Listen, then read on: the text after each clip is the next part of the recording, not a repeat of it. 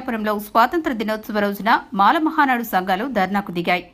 సాహెబ్ అంబేద్కర్ జై భీమ్ జై భీమ్ ఆగస్టు పదిహేను బ్లాక్ డేగా పాటించండి. పాటించండి పాటించండి. దళితులు మహిళలు మైనార్టీలపై జరుగుతున్న దాడులకు నిరసనగా బ్లాక్ డేగా పాటించండి. పాటించండి. అంబేద్కర్ విగ్రహానికి పూలమాలలు వేసి ర్యాలీగా వెళ్ళి సూర్యనారాయణ గ్రంథాలయంలో సమావేశం నిర్వహించారు. ఏంటి అంటే మెయిన్ ఉద్యోగ రంగాలు ఉపాధి రంగాల్లో విద్య ఉద్యోగ రంగాల్లో రిజర్వేషన్లు ఎక్కువ ఉపయోగపడతాయి. మన చదువుకునే వాళ్ళకి అవి.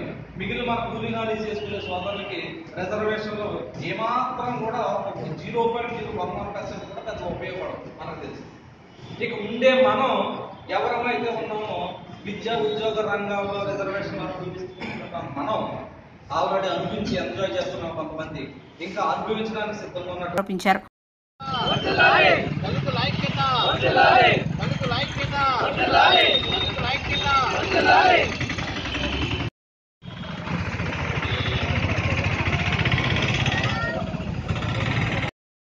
అంబేద్కర్ జై భీమ్ జై భీమ్ జై భీమ్ జై భీమ్ స్వాతంత్రం వచ్చి డెబ్బై ఒక్క సంవత్సరాలు పూర్తయినా నీటి కోసం గుడ్డ కోసం తమపై దాడులు జరుగుతూనే ఉన్నాయని అన్నారు. అట్రాసిటీ చట్టాన్ని నీరుగారుస్తున్నారని ప్రతి ఒక్కరూ పోరాడి సాధించుకోవచ్చని ఈ సందర్భంగా పిలుపునిచ్చారు. సూరిబాబు తదితరులు పాల్గొన్నారు.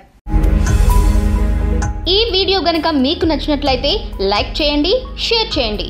మరిన్ని వీడియోస్ కోసం మా ఛానల్ను సబ్స్క్రైబ్ చేయండి.